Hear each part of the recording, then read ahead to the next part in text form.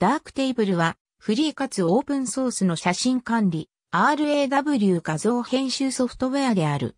Adobe Photoshop や GIMP などのビットマップ画像編集ソフトウェアとは異なり、RAW 画像の編集に特化している。Linux FreeBSD Solaris MacOS Windows などに対応しており、GNU、GPLv3 の下で公開されている。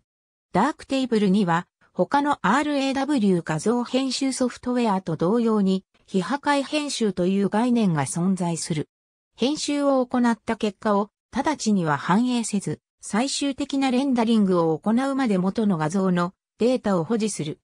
darktable は、組み込みの ICC プロファイル、GPU アクセラレーション、一般的な画像ファイルフォーマットに対応している。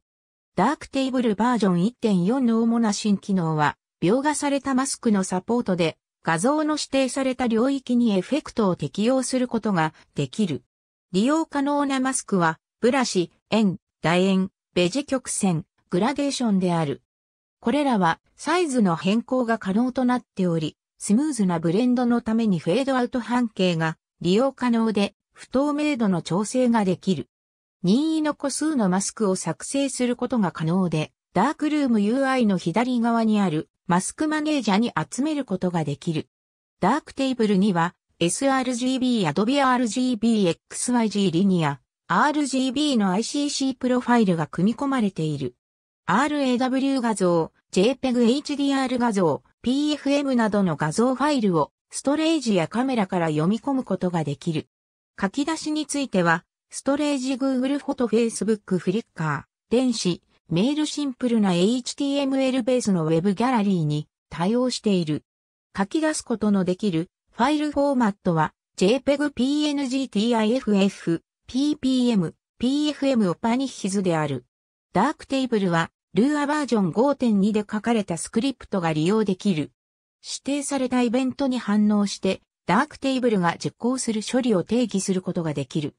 スクリプティングの例としては、ダークルームの外で追加の処理を行うために、ファイルの書き出し中に外部のアプリケーションを起動するなどがある。RGB の各チャンネルの線形、対数、波形カラーヒストグラムを利用することができる。 darktable バージョン2.42の起動時の画面、 darktable には、ライトテーブルとダークルームの2つの主要なモードが存在する。これらの名称は、写真編集技術の発展の歴史を示している。その他のモードとしては、テザリング、マップビューなどがある。ダークテーブルを起動した時には、デフォルトでライトテーブルモードが開き、画像コレクションの一覧が表示される。画面を有効活用するために、すべてのモードのすべてのパネルは最小化が可能となっている。古いバージョンのプラグインパレット現在のプラグインパレット2018年7月現在61のプラグインが5つのグループに分かれて存在している。2011年ダークテーブルの開発チームは Google サマーオブコードに参加した。主な目標はリブグレードに依存している状況の解消を行い、モジュール化を進めることであった。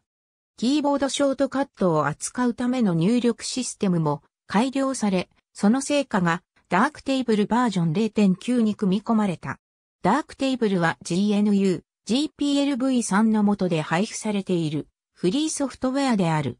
現在のバージョンは Linux FreeBSD Solaris MacOS Windows で動作する。